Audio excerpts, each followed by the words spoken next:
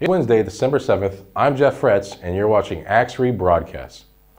Let's start with Axiory's technical outlook for the euro dollar. A sustained rise above the main pivot is suggesting target will be at R1 resistance. A rise above this level will then focus on R2.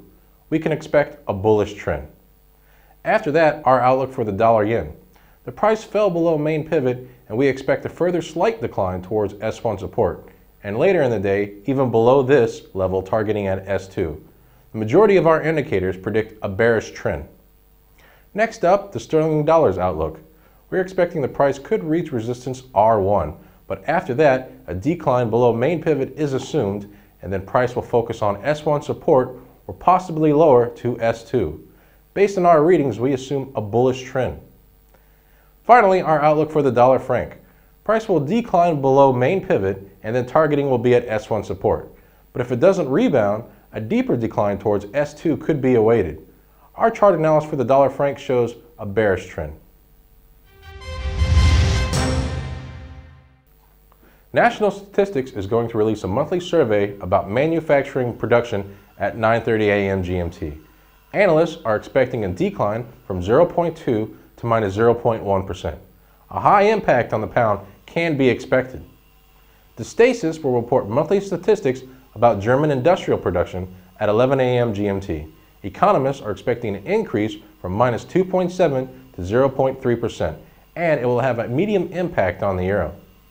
National Institute of Economic and Social Research will release its monthly survey regarding the GDP estimate at 3 p.m. GMT.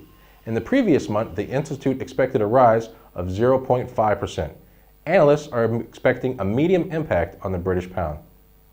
The Cabinet Office is going to release a monthly report figures about core machinery orders at 11.50 p.m. GMT.